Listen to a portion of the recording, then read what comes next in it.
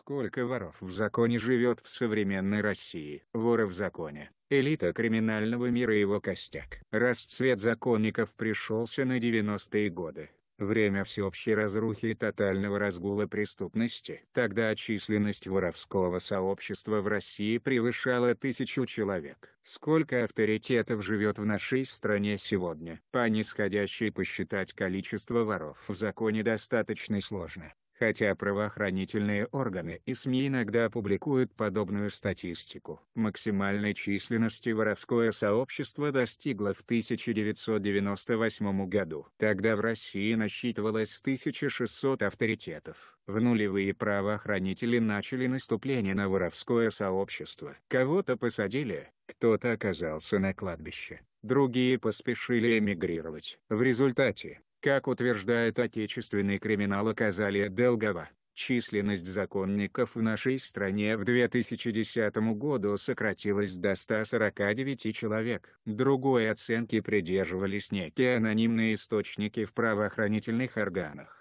в том числе в Федеральной службе безопасности. Там привыкли считать численность воровского сообщества по количеству участников сходки. В большинстве случаев на нее собирались не более 200-250 человек, порой и вовсе было по 50-100 законников. Таким образом, отмечали правоохранители, в нашей стране в то время действовало немногим более 200 авторитетов. Наши дни по подсчетам портала Prime Crime, в настоящее время численность воровского сообщества составляет 227 человек. Из них на свободе – 168, в розыске – 9, под следствием – 16, а отбывают наказание в заключении – 59 авторитетов. Этнический состав законников за все это время не претерпел существенных изменений. Большую часть воров по-прежнему составляют грузины – 57%.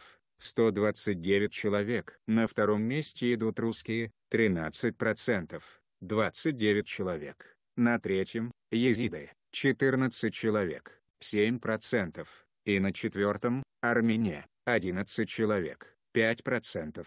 Стоит отметить, что не все из авторитетов проживает в России на постоянной основе и считает ее своим домом. Кто-то живет за границей или отбывает наказание в зарубежных тюрьмах, поэтому цифру 227 как обозначение численности отечественного воровского сообщества можно считать весьма условной. Что касается Москвы, то в столице России, по данным начальника городского управления угрозыска Михаила Гусакова, живут 8 воров в законе. По другим данным, еще несколько лет назад авторитетов со столичной пропиской было 44. Любопытно, что следящие за новостями воровского сообщества наблюдатели отмечают рост числа чеченских воров в законе. В настоящее время таких насчитывается 7 человек. В целом же, если посчитать количество законников только среди коренных народов России, русские, ингуши, чеченцы, татары,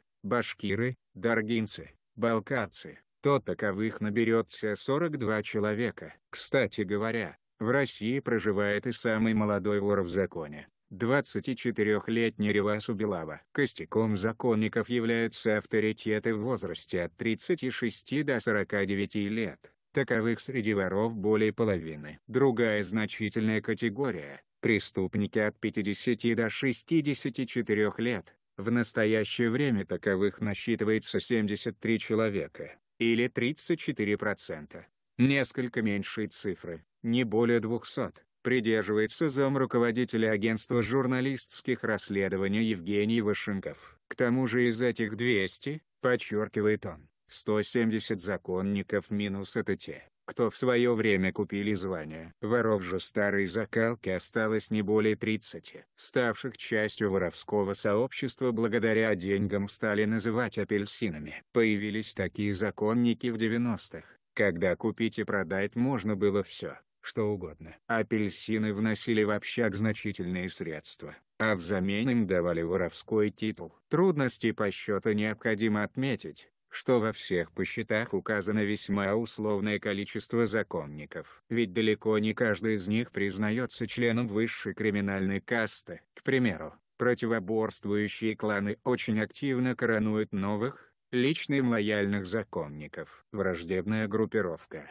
естественно, их не принимает. Показательно в этом плане осень 2012 года, когда схлестнулись кланы Аслана Усаяна, Дед Хасан, и Тариэлань Ани. Таро. В декабре того же года на выездной сходке о Объединенных Арабских Эмиратах Аняни короновал сразу 16 авторитетов. Люди деда Хасана новоиспеченных воров не признали, потребовав от них сложить полномочия, угрожая в противном случае скорой расправой. Конфликт от этого лишь усугубился. Также необходимо отметить, что последние годы в связи с активностью правоохранительных органов многие представители воровского сообщества предпочитают вести свои дела в России на значительном удалении. Многие из законников уже давно осели в Греции, Франции, Италии или других странах. Кроме того, воры в законе иногда записывают некоронованных авторитетов, но при этом тех, кто имеет значительное влияние в криминальном мире. Ворами их назвать все же нельзя, поскольку обязательная процедура для законника прохождения коронации.